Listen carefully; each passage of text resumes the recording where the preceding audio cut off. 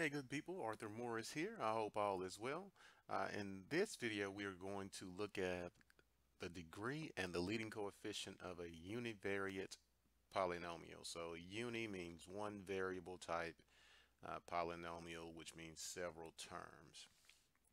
So uh, these uh, this particular problem is is more of just knowing uh, what the words mean, what degree means and what leading coefficient means.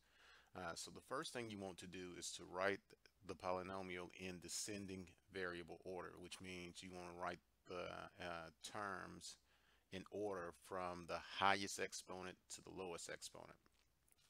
So I'm going to rewrite this in descending variable order. So the highest exponent I have here is 9, so the v to the ninth would be first.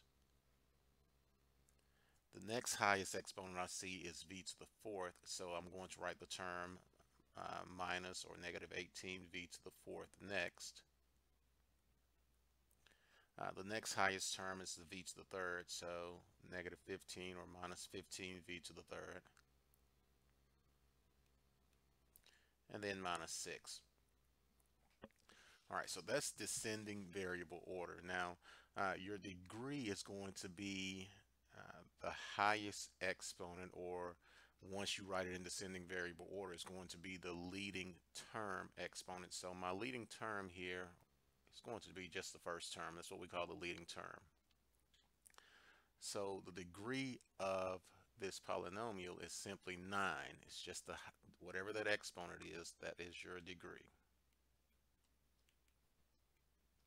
And then the leading coefficient, and I'll write that as LC, is the coefficient on that term. Now you don't see a coefficient on the v to the ninth, so it's understood to be 1. So my leading coefficient there is 1. So degree, that's the exponent on the leading term, and then the leading coefficient, that is the number or the coefficient on that leading term. Alrighty, let's look at another one. So again, I want to write this in descending variable order. So I find the term with the highest exponent that goes first, and I work my way down to the uh, lowest exponent. So negative 5 v to the ninth.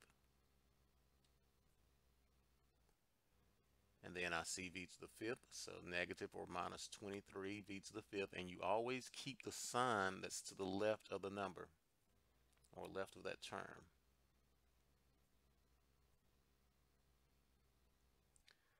Then I see v to the first with a negative 7 or minus 7, v to the first, and then plus 18.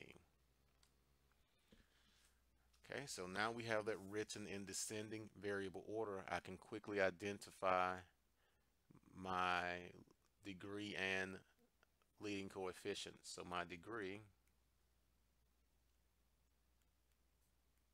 is the exponent on the leading coefficient, so it's 9 again. And then my leading coefficient is that number that's being multiplied times the variable or negative 5.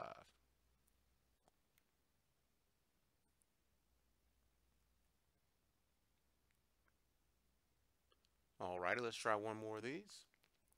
And you may want to pause the video and try to work this one out yourself.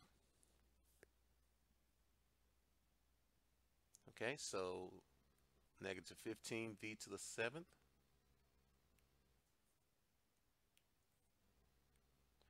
minus 10v to the sixth plus 1v to the fifth plus 15 since the, the 15v is positive so plus 15v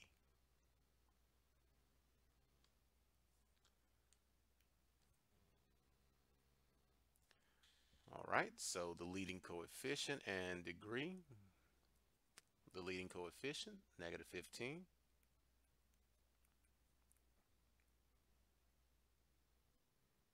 And the degree is 7. It's the exponent, 7. Alrighty, good people. Hope you found this video to be helpful. See you on the next one.